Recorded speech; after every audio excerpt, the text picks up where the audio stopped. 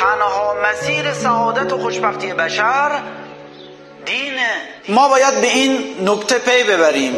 جوی که الان تو عالم ایجاد شده تو عالم دارم میگم. این یه جویه که مبارزه با دین می‌خواد بکنه. حتی گاهی وقتا از خود دین هم استفاده می‌کنه. میاد تو ماهواره مثلا یه چند تا نکته تفسیری میگه چند تا نکته روانشناسی رفتاری. اینا چون نتونستن دین رو ریشه بزنن الان اومدن دینی رو به شما عرضه بکنن که بشه با گناه هم جمعش کرد.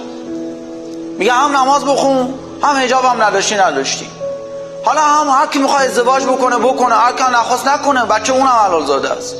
اینا یه جریانه اینا شخص نیست.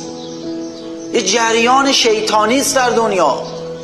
علیه حکومت جهانی حضرت مهدیه اینا چون نتونستن دین رو ریشه بزنن الان اومدن دینی رو به شما عرضه بکنن که بشه با گناه هم جمعش کرد. ما باید بدانیم تنها مسیر سعادت و خوشبختی بشر دینه. آیه قرآن میفرماید و اذا تولا سعا فی الارض لیفسد فیها و یهلک الحرث و نسل آیه 205 سوره بقره. تاغوت اگه حاکمیت پیدا بکنه در زمین فساد راه میندازه. همه چی نابود می‌کنه. کشاورزی را نابود می‌کند نسل را نابود می‌کند. این آیه قرآنه. الحرس یعنی کشاورزی. النسل یعنی خانواده. خب وقتی طرف میاد میگه آقا حالا اگه زن و مرد رابطه نامشروع داشتن بچهشون به نظر من حلال زاده است.